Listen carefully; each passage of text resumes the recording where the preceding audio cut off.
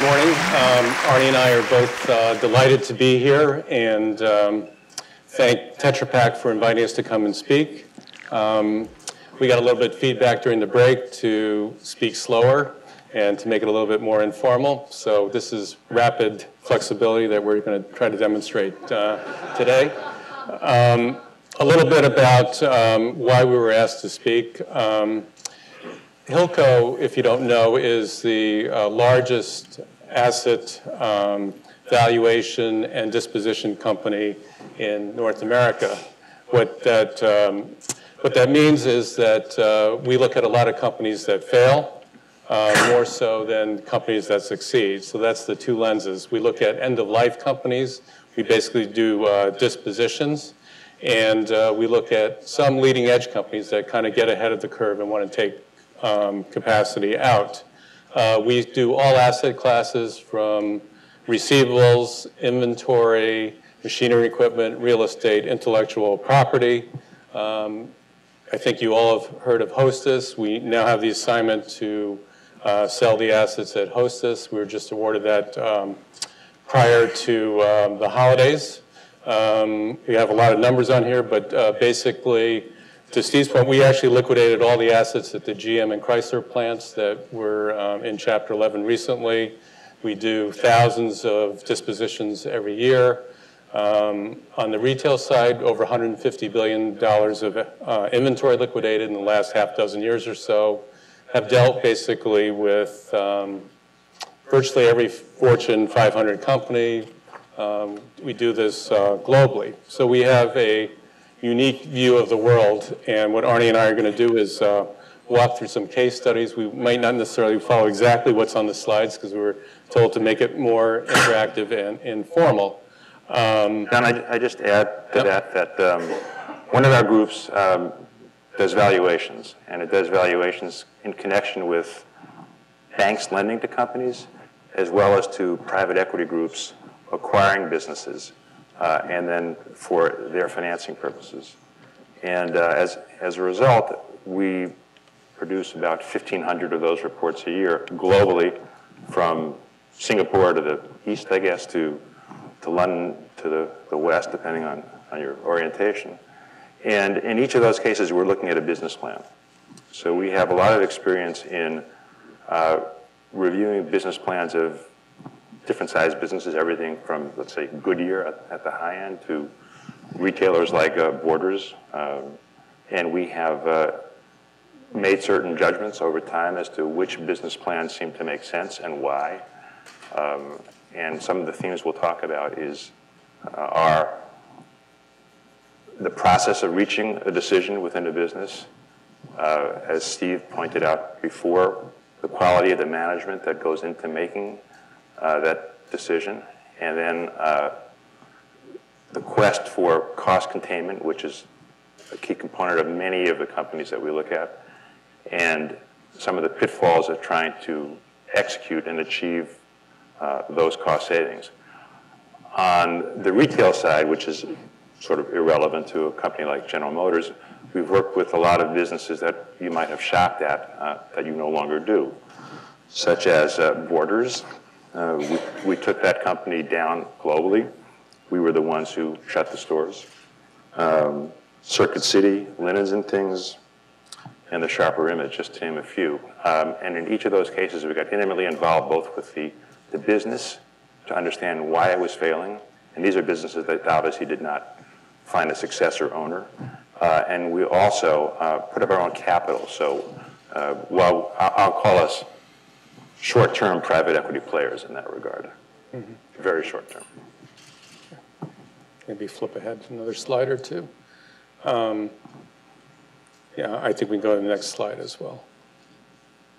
So um, in the last 24 hours, we've talked a lot of themes. They're common to uh, what we've seen. Um, I, I think the major takeaway that we have from our business is that uh, achieving cost competitiveness is a continuous process. It has to be ingrained into your culture. Uh, as uh, Steve spoke about, uh, you can't have a culture of denial. You have to face what the facts and reality are. And so a foundation of a successful plan, we feel, is that one is you have to look at the long-term impact of your um, cost reduction plans and productivity-related capital expenditures. The return on investment, what do you get for it? Uh, We've been in a lot of plants that are what I call legacy plants. If you try to walk through them, you can't even see a clear aisle. So these are one-off decisions that made sense at, when they were made, but in the context of your overall efficiency, was probably not the right choice. Second, you have to have an external focus, a focus on your customers, uh, in terms of your price value uh, equation. Does it make sense to the customer? Um, and also, how does it compare to what else is out in the um, marketplace? And then uh, third, um, another thing we've talked about is time matters. You have to make these decisions in a timely manner. You can't have this culture of denial hoping that the market will come back, the volume would come back. Uh, you need to move uh, quickly. And I guess in the context of red ocean and blue ocean, we kind of have a black and blue model that a lot of these companies have, have failed. Um, quick question to the audience. Um, in, in the course of your business careers, have you ever worked for a company that uh, faced a cash crisis? a couple. Uh, have you ever worked for a company that um, uh, contemplated a bankruptcy or a significant restructuring? A few more. Um, have you ever worked for a company that failed? Okay.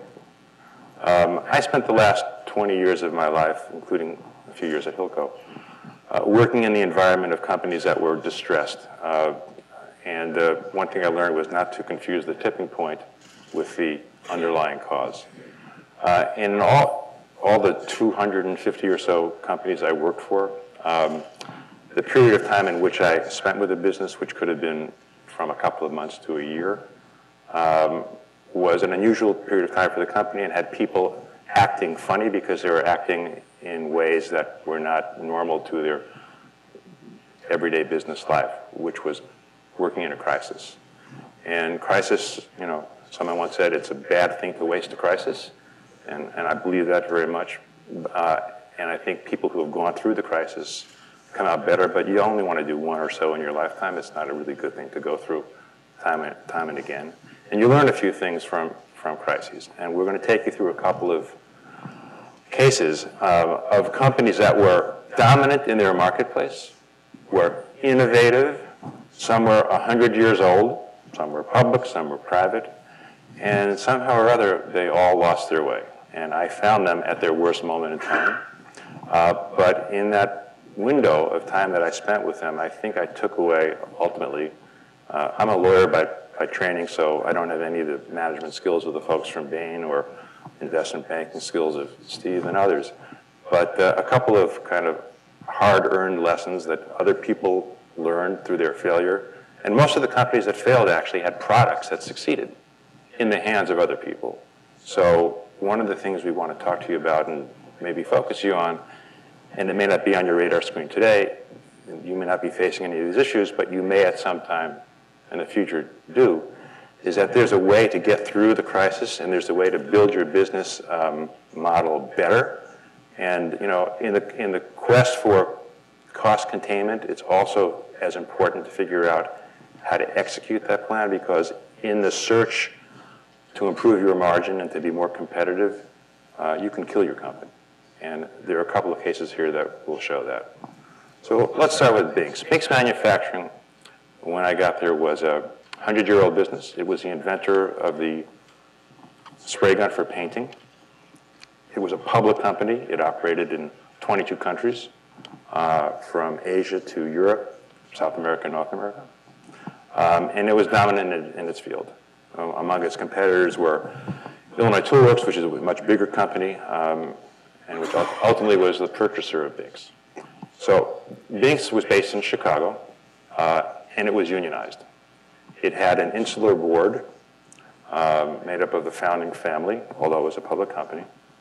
And uh, its tipping point was uh, one day when uh, it announced a giant loss um, after having promised its banks, with whom it just entered into a large agreement, that it would show a significant profit. And uh, banks tend not to like surprises, and uh, they uh, immediately cut off the company's lines.